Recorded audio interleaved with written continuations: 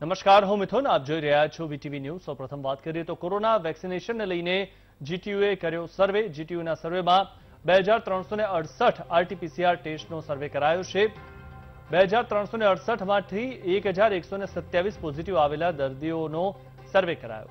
છ્યાસી પોઈન્ટ છ ટકા દર્દીઓએ મેળવેલી હતી વેક્સિન. વેક્સિન લીધી હોવાથી તેમનામાં સામાન્ય લક્ષણો જોવા મળ્યા હતા. વેક્સિનેટ દર્દીઓ એક સપ્તાહથી ઓછા સમયમાં સાજા પણ થઈ ગયા. એક હજાર એકસો ને સત્યાવીસમાંથી ચોરાણું પોઈન્ટ ચુમ્મોતેર ટકા લોકો હોમ આઇસોલેશનથી જ સાજા થઈ ગયા. અલગ અલગ વય જૂથ પ્રમાણે જીટીયુએ આ સર્વે કર્યો હતો. પરંતુ મહત્વની વાત એ છે કે લોકોને વેક્સિન મળતી નથી. દરરોજ કેટલો પણ પ્રયત્ન કરે છતાં પણ વેક્સિનેશન સેન્ટર ફૂલ થઈ જાય છે.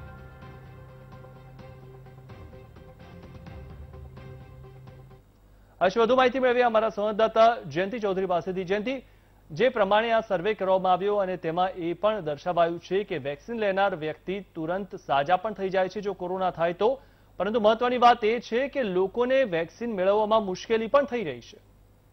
ચોક્કસથી કહી શકાય કે વેક્સિન મેળવવામાં લોકોને મુશ્કેલી તો સો ટકા થઈ રહી છે, પરંતુ જીટીયુ દ્વારા એક મહત્વનો સર્વે કરવામાં આવ્યો હતો, કારણ કે જીટીયુ પાસે એક લેબ છે, જેની અંદર આરટીપીસીઆર ટેસ્ટ થાય છે અને જીટીયુએ આ આરટીપીસીઆર ટેસ્ટમાંથી ત્રેવીસો ને અડસઠ જેટલા સેમ્પલ લીધા હતા, ત્રેવીસો ને અડસઠ સેમ્પલમાંથી પોઝિટિવ આવેલા અગિયારસો ને સત્યાવીસ જેટલા લોકો હતા, જેમાંથી ચોરાણું પોઈન્ટ ચુમ્મોતેર લોકો છે, તેમને હોમ આઇસોલેટ થઈને તેઓ સાજા થયા છે, એટલે કે તેમને વેક્સિન લીધી હોય ને ત્યારબાદ કોરોના થયો હોય, તો તેમને હોસ્પિટલમાં એડમિટ થવાની જરૂર નથી પડી કે એક અઠવાડિયું ઘરે રહ્યા હોય છતાં પણ સાજા થઈ ગયા હોય તેવા બનાવો બહાર આવ્યા છે. એટલે ચોક્કસથી કહી શકાય કે જે રીતે વેક્સિનેશનનું અત્યારે પ્રમાણ વધી રહ્યું છે, વેક્સિનેશન માટે કેન્દ્ર સરકાર પણ ભાર મૂકી રહી છે. તે ખૂબ જ મહત્વની વાત છે, કારણ કે વેક્સિન લીધેલા લોકો છે તેમણે હોસ્પિટલમાં એડમિટ થવાની જરૂર નથી રહેતી તેવું જીટીયુના સર્વેમાં બહાર આવ્યું છે. જી.